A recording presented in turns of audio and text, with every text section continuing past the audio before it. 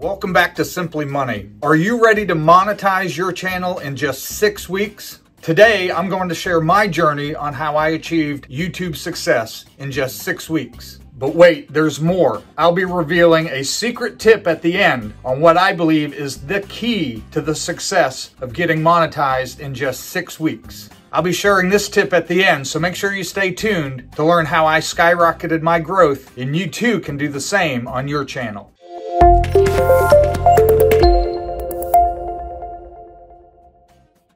Let me start by saying this is not actually just about money. Even though this channel is simply money and we focus on how to become financially free, I wanted to do this video because a lot of people are trying to supplement their income through YouTube. So for those that are, this can become a means of passive income. I want to talk to you about that in another video on an even better strategy to passive income than YouTube, but we're going to focus on YouTube today. So first, let's talk about setting the foundation for your YouTube channel. I started by identifying my why. The most important thing is why did you want to start a YouTube channel? If you don't understand what it is you're trying to accomplish, you will get burned out doing this. You have to have a passion and a why behind this. So on those days when it's a grind, you can grind through. I'm just going to say, YouTube is not passive to begin with. It is a lot of work, but we'll talk about how it can become passive once you put the work in up front. So setting the foundation includes first identifying your target audience. For me, I'm talking about money, but money is a big wide topic. So I want to narrow it down even further to achieving financial freedom. What were the things needed? What were the steps required to achieve financial freedom? I wanted to help provide insights, tools, encouragement, motivation, all toward helping others achieve financial freedom.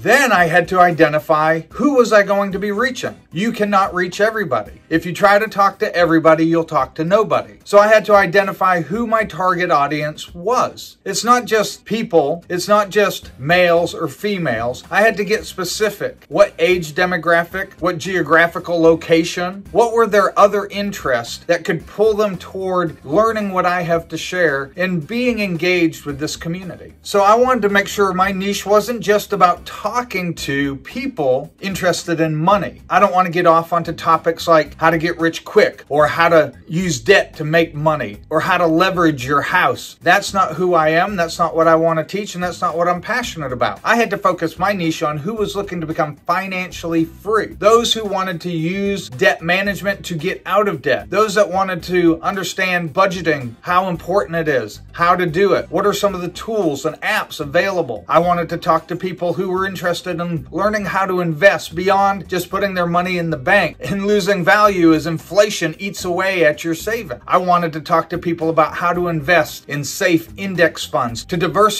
your investment while making good gains of 10 and 12% interest, building toward a wealthy future that is financially free from the burden of having to rely on a job. This is to encourage people who want to become debt free. This is to encourage people who want to be self sufficient. If they choose to work, that's fine. But to have the means by which they don't have to work if they don't want, and they have income being provided by the money they have invested in generating passive income. That's my target audience. I had to get down into the dirt with this in order to know what it was I was going to focus on on this channel. That's step number one. Next, I had to focus on optimizing my content. You can't just make a video and throw it on YouTube. There are those out there that'll say, oh, you can get this so easy. This is a lot of work. And optimizing your content is vital to making sure that you're being seen. Just because you know who your audience is and you've identified who they are and what they're looking for doesn't mean they're going to find your video. You need to optimize your content in order for it to find them. I launched my first video on July 26, 2023. I can tell you just in the short time that I've been doing this, I've made a lot of improvements, a lot of changes. The first thing I had to do was decide I'm just going to do it. I'm not going to wait until it's perfect. I'm not going to wait until I understand all the ins and outs of YouTube. I'm just going to start and I'm going to make small incremental improvements along the way. So from that video, I began to analyze how to optimize my uploads, how to input keywords, how to research keywords how to understand how to do the search engine optimization. There's a lot to learn. But the good news is there's resources available. Get on YouTube. There's other channels that all they do is teach how to optimize your videos. There's channels that teach how to make good thumbnails. So in order to optimize my content, I had to do a lot of studying, a lot of learning. In fact, that first video was 30 minutes long. I kind of laugh looking back because I just got on the camera, turned it on, and started talking about the things I wanted this channel to be about. And it turned into a 30 minute video. I shared it after I uploaded with some friends and family and asked for their opinion, their feedback. And the first thing I heard was it's too long. So I cut that up into three segments. I kept the original on there, but then I made three smaller 10 minute videos out of that to see how that performed. And so I began analyzing the differences. Then I had to analyze the thumbnails, the creative portion of that, the text that were on those. Optimizing requires a lot of little things. It's a lot of work that you have to be willing to do. But if you want to get monetized, you want your channel to be able to earn money, you have to do the hard work. This is not a easy get rich quick opportunity. This is a great opportunity for those willing to work that have the desire to put in the effort. Additionally, in optimizing, I had to continue to figure out how to better engage my audience. It's one thing to have a great thumbnail and title that people click on, and then they click off as soon as they start seeing or hearing you. So I had to learn and prove how to engage my audience. There are things I've done. I began doing polls on my channel. I send out inspirational quotes. I'm doing other things to engage them throughout the, the video. It's just small improvements. The biggest thing I'm trying to do is just be real and authentic, just to speak from the heart about things I'm passionate about and build a community of like-minded people who are passionate and want to encourage one another in their financial freedom journey. Whether they're just starting out or they're already financially free and they want to be a continual support to others or learn how to continually build their wealth even though they're financially free. Now the third step, this one is where a lot of people fall short. They say, I want to be a YouTube YouTube creator. I want to be a YouTube influencer or whatever term they want to use. And they don't do a consistent uploading schedule. They maybe put a video on and then two months later they put another video on. Three months after that they put a couple on in two days. It's just not consistent. They may have gotten some subscribers from their first videos and some others come along. They may get a lot of shares on that video, but they're not building a community. Building a community is the vital part because people want to see consistency. If they like what you're telling them and they're enjoying the material you're providing, they want to see this on a regular basis. They want to know when they can expect to hear something else from you. And even though you may share something the next time that's not quite what they were looking for, they know they can expect there's going to be more material on a regular basis. Now, there's a lot of people out there that'll tell you you need to upload on a regular basis daily or three times a day or weekly or monthly. I don't think there's one set way that's perfect. I think you need to find what works for you. You need to know what can be maintainable for you. You need to know what you're able to come up with to create good content because it's not just about quantity. I would say at the beginning, it's better to do some quantity and then work on the quality as you improve. But if you're only waiting to get a perfect video and doing it once every two months, you're not going to build the community. So get into it. Don't worry about perfection and then make improvements along the way, but be diligent about looking and improving and making small adjustments. Every video should be slightly better than the prior one. And if it's not, then that can be an experiment saying, okay, that didn't work. Let's go on and try something different. I chose because I wanted to be monetized as quickly as possible that I was uploading on a daily basis to begin with. And once I got going and built up a little repertoire, I've been doing two shorts a day and then twice a week, one of those uploads instead of being a short is a longer video such as this one. So every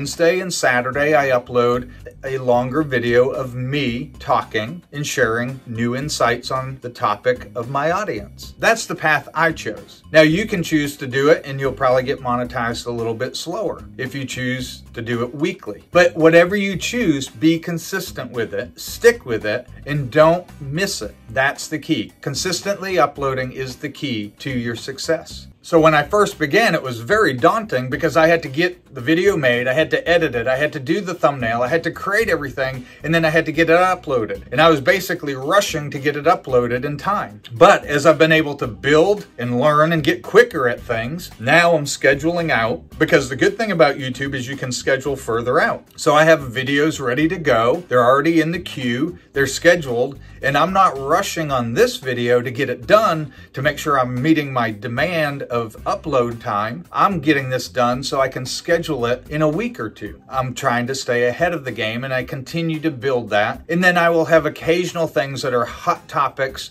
Maybe it's a news breaking story that I want to get out and I'll throw that out as a special upload. But I'm never rushed now with my editing and with my time because I have a set schedule. The fourth key is engagement with my audience. And I know I just spoke on this a moment ago slightly, but I want to get a little deeper in this because this is key. You can have really good content, you can have all the great thumbnails and all the great SEO, but if your audience isn't engaging, you're not going to progress. And it'll take time to build that community and to find those who are truly wanting to be part of your community, just the conversation you have with people. Take the time to reply to comments. Take time to ask questions within your videos. Like, for example, right now, what is it about this video that most resonates with you? Throw that down in the comments, let me know, and I'd be glad to reply to you and thank you for being a subscriber. So asking people to subscribe, asking people to like and comment, it's okay. That's encouraging them to engage. That's welcoming them to be part of the community. I encourage all of you to throw comments. It's okay if you don't like what I'm saying. Please be nice. You don't have to be rude, but you can tell me, I don't like how you do your video. I don't like your background. I don't like how you present things. I think you need to do this. I'm open to that. I'm trying to improve. Again, don't be nasty. There's no reason for that, but you can share honestly. I'm okay with a good hearted joke too. I know I have gray hair. It's okay. I'm getting old. I'm happy with my old age. I embrace things, but let's communicate. Let's have a nice conversation and talk and become a community where we can help each other. I hope I can help inspire you to financial freedom.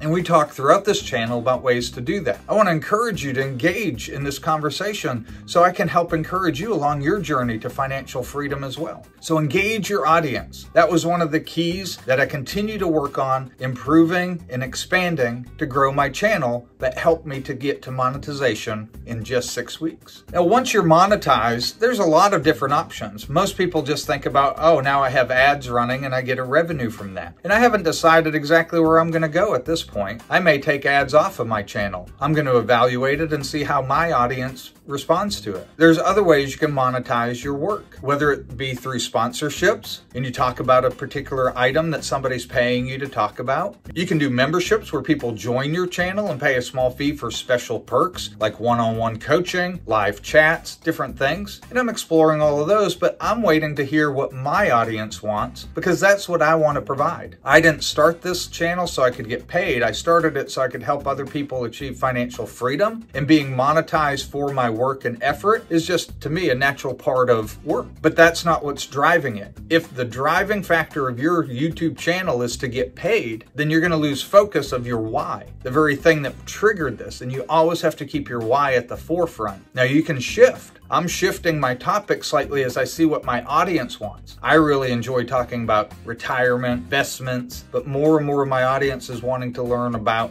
budgeting and debt management. So I'm trying to focus a little bit more on that at this time until the audience dictates what they want, as long as it's within the bounds of what I desire to talk about and share on this channel. And that's okay. Audience should dictate what drives your topics. And I'll experiment on other topics to see, hey, did this find interest in you? Do I watch my audience start engaging with a particular topic that I didn't think would be that relevant, but they have engaged in it. So to me, that says I want to focus on this because this is what they want to learn about. I love education for children that's driven by their interest. Doesn't mean you don't teach and talk about all the elements of things they need to learn, but you allow their interest drive what they deep dive in their learning. If somebody's really into a topic, then that's what I want them reading about. If I want a child to read, I need to find a topic they're passionate about and they'll read all the time. But if we're forcing them to only read what we think they need to read, they're not going to be passionate. Starting a YouTube channel is no different. I want people to have understanding of financial literacy and education, but I want to do it in a way of what they need, not what I think they need. And that's key when you're doing your monetization, when you're building your channel and growing it. And now the secret tip I promised, leveraging the power of collaboration. Now I guarantee you there's probably another channel, if not hundreds of channels doing exactly what you are wanting to do. What you need to do is not just look at them as competition, but look at them as collaborating partners. What are they doing that's successful? And emulate that. Don't copy it, but emulate it. Learn. Maybe it's the topic. Maybe it's the way they present. Maybe it's their background. Whatever it is that seems to be drawing their growth, learn from that. Those that aren't doing well, learn from that as well. Some of the best lessons in life come from our mistakes or the mistakes of others. Education is expensive, and sometimes making mistakes is expensive, and we learn and we move and we grow from that. But collaborating, learning, watching other people's videos and seeing how they are doing things, looking at thumbnails and comparing thumbnails one from another, and learning, improving. Try doing a video with a thumbnail and then change the thumbnail and see if your click through rate went up or down. That collaboration reach out to another creator who is maybe around the same stage of development as you are and see if you can collaborate together. Then you can help influence one another and grow together. There's plenty of room on the platform for everybody, and learning to collaborate together can be a vital step in helping one another. That is key to growing your channel. And that's how I was able to monetize my channel to get a thousand subscribers and over 4,000 watch hours in under six weeks. You can do it too. But if you don't, it's okay. There's not a race to this. I chose to work this full time until I got monetized. And now I'm pulling back and getting my schedule set to where it'll be a part-time opportunity. Stay tuned for my next video where I'm gonna share how I went from zero to over 30K subs in seven weeks. I'll throw the link below or check it out here. Thanks for joining me on Simply Money. I hope you find these videos encouraging. I hope you find these videos engaging. If you haven't already, hit the subscribe button, throw a comment down below that you subscribed, and I wanna thank you for being a subscriber. Also, share this video with anybody anybody you think might be benefited from it. You may know somebody trying to create a YouTube channel and hopefully this can encourage them along the way. And we'll see you next time on Simply Money.